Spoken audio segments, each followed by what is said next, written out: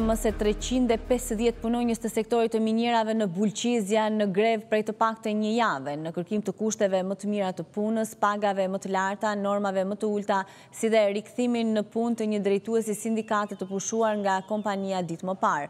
Punëtorët e Sindikatës së Minatorëve të Bashkuar të Bulqizës refuzojnë të kthehen në galeri, derisa kompania në të cilën kanë kontratë, të plotësojë kërkesat e tyre. Më herët gjatë ditës së djeshme në një komunikim për mediat, kompania Albkrom e ka quajtur një pakicë grupimin e minatorëve të pakënaqur dhe i ka lidhur turbullirat e shkaktuara në këtë sektor me luftën brenda llojit të sindikatave të ndryshme.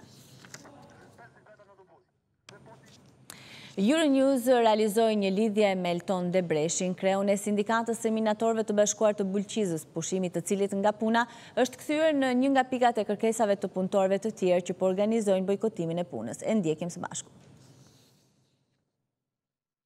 Unë jam Elton Debreshi nga Bulqiza dhe kam punuar prej 6 vitesh minator tek shoqëria Albkrom SHPK.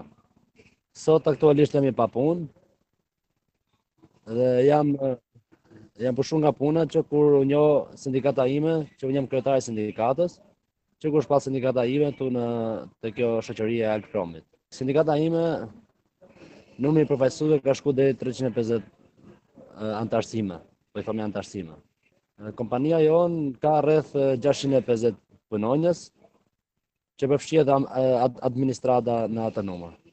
Neve kemi disa ankesa, që pika kryesore është tek pagat, që pagat nuk kanë lëviz nga viti 2013, që e ka marr shoqëria Albkrom, dhe po bëhen presione punëtorëve, e tjera nga më të ndryshmet, mesatarisht paga kryesore e një minatori, shkon rreth 505.000 lek, Duke deri tek minimale që është 430 mijë lekë. Greva është një numër masiv, janë disa punonjës që punojnë në në galeri, ato janë të luhatur nga presionet nga më të ndryshme, që u bën kompania, që u bën sindikata aktuale që është sot atje, siç është marrë masë nga unë që jam përjashtu nga puna Sa u shpalla kryetari i sindikatës në Bulqizë, sa u mor vendimi i gjykatës dhe shpallim si sindikatë.